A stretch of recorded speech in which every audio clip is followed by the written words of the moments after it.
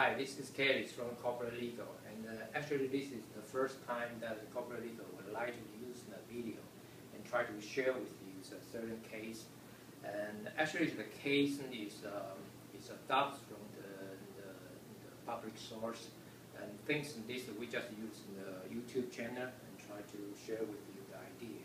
And so we cannot use in the our groups, the, our own case, uh, so that we just adopt the open source case.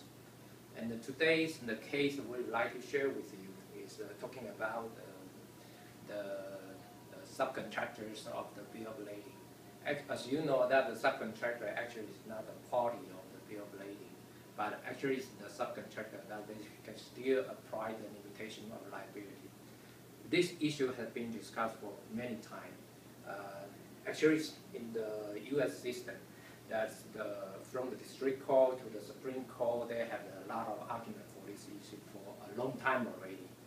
Uh, when I uh, uh, when I in Evergreen Line, they actually also have the case, uh, the, a case that is happened the, similar occasion.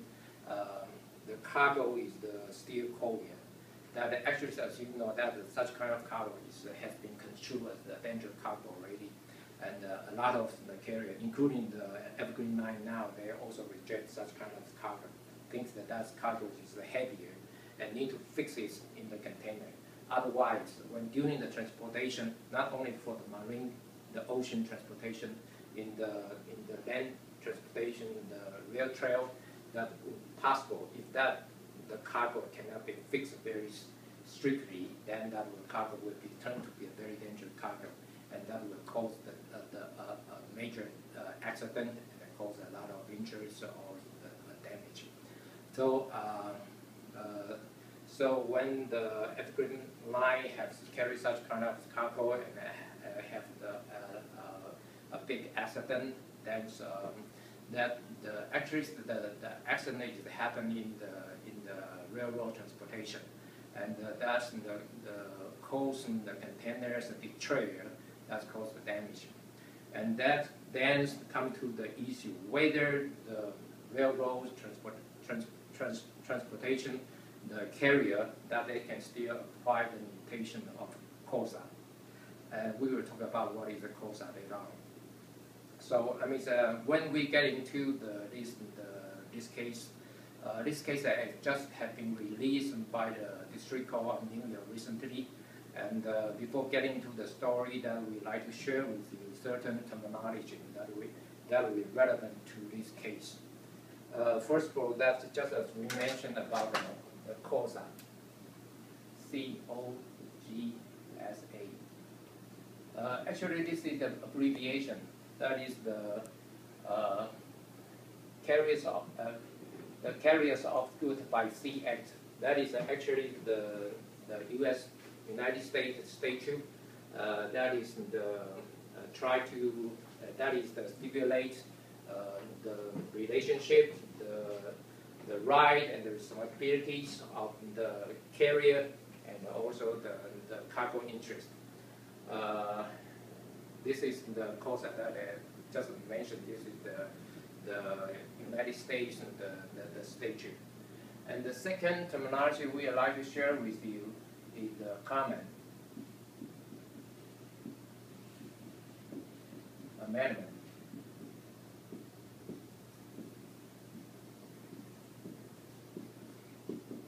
Uh, actually, this is also the U.S. the, the statute. That is the that, that is the amendment to the Interstate Commerce Act. That is also regulation that the the, the carry the carriage uh, between the cargo between the interstates uh, from this state to another state or to the Columbia district or to the, the adjacent foreign the country.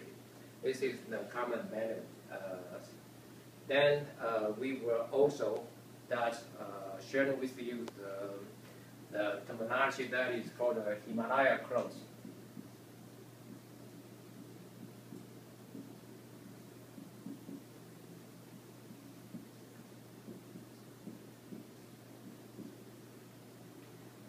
Why call Himalaya? Uh, this is not the, related to the, Hima, the mountain Himalaya. Actually, this is the name of the vessel. Uh, actually, that is the, the story about the lady. Actually, the vessel is the cruise vessel, not a container ship. The, the lady, when they board in this cruise vessel, and that she uh, get an injury, so that she's, uh, she's claimed the, the damages from the ship owner. Uh, but ship owner just uh, apply the, the limitation of liability of the carrier in accordance with the, their ticket, uh, the term and condition, the term and condition of the ticket. Therefore, that the ladies get angry, she cannot get what she wants from the, the ship owner. Therefore, she keep continue, and then uh, she sued the all the crews of the vessel, and then uh, at that time, things that they have so much such kind of uh, concept and idea and try to protect the subcontractor of the carrier. So at that time that she uh, have successfully that is the claim the damages from the crews, crew, the all the crew. Uh, actually, this is unfair. The frankly speaking, things uh, if the the vessel the owner that they can apply the limitation of liability, why the crews need to respond for their boats. And then, so they, they after that, that the, the ship owner just try to protect their subcontractor. So they have to put it such kind of clause in their bill of lading, including our bill of lading now use. And that that is uh, we call this a Himalaya clause, and the, the, the, only purpose is just try to protect that the, our subcontractor uh, will get get rid of the, the, the claim from the from the cargo interest. Uh, that's that the subcontractor that they can apply the same with the, the cargo cargo the, the vessel owner that they can apply the limitation of liability. So this is what we call the Himalayas clause. And actually, if you back to the Carmack Amendment, that Carmack Amendment actually is also the congressman's name. So a lot of, I mean, you know, bill and a lot of the statute that they just use the, some kind of the congressman name or some kind of, you know, for Himalaya, that is the base of the name. And then that is uh, another, the, the terminology that uh, we use for this case, that is for the uh, paramount clause.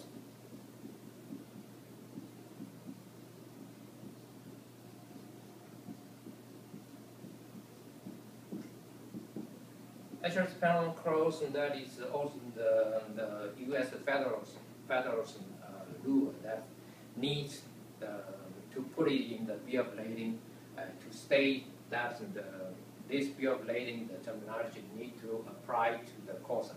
This is what we call a Paramount clause. Uh, the, in, in Mandarin that we call this is the, the 至上条款。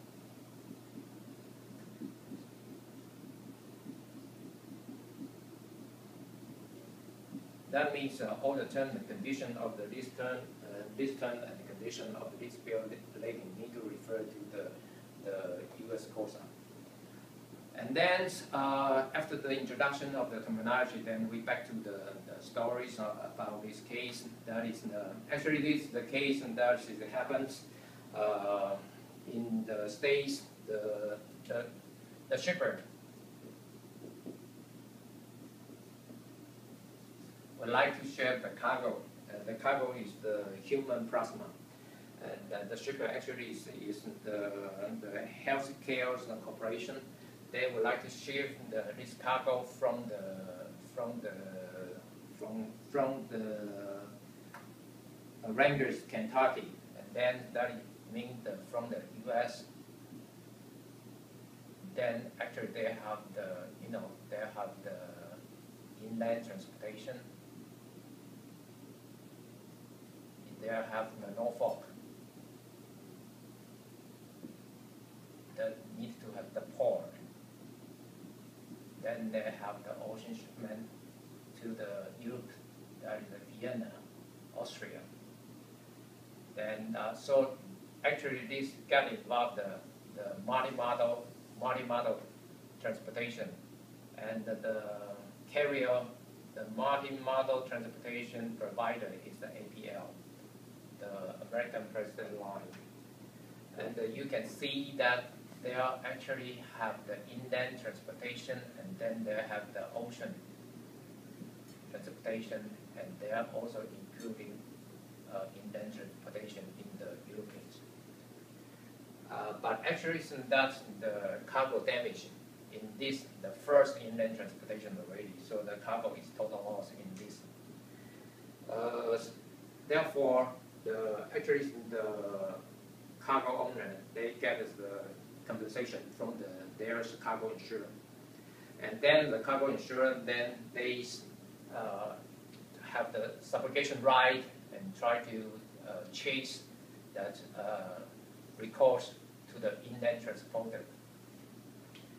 Uh, so that is actually, uh, you can see just as we mentioned that uh, the, the bill of lading is uh, issued by the multi-modal transportation provider, APL. But actually in this bill of lading, there have no such name of the inland transportation provider. Uh, so that's the the the, ins the insurance company. Actually, the insurance company is called the Royal and the Sun Alliance Insurance Company.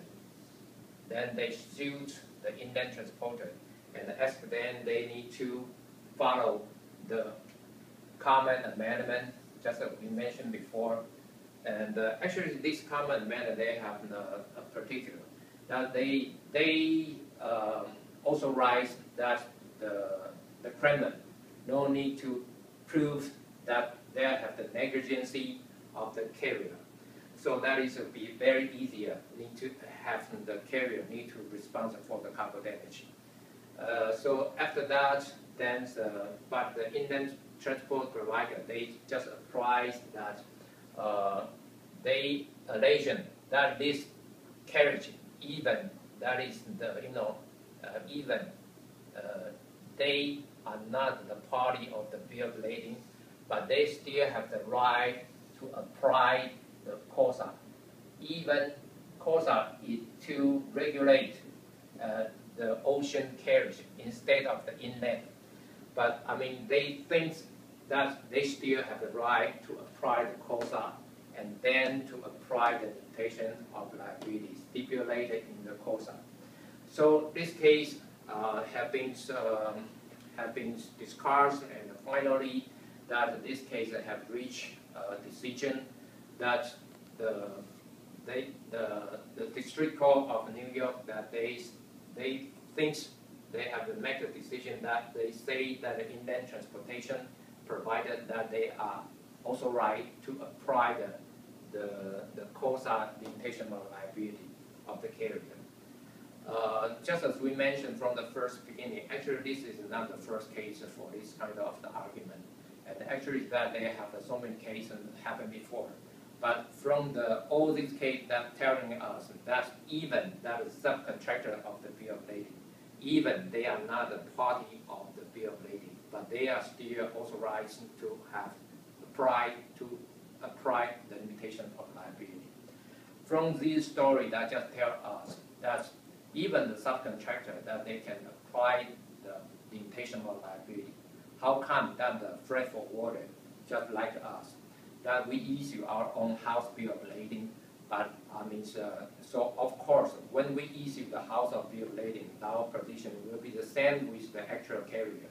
So of course, that we can apply the limitation of liability. What is the stipulated the term of uh, and the condition of our bill of lading. So uh, we just try to remind uh, remind you that uh, when such kind of, I mean, if they have, unfortunately, they have such kind of cargo damage happening, so don't forget about to apply the limitation of liability. Since that is the privilege, privilege of yours right. Thank you. That is, is the first time that we would like to share with you the uh, videos hope that we still have the second time and third time that to share with you more case. Thank you.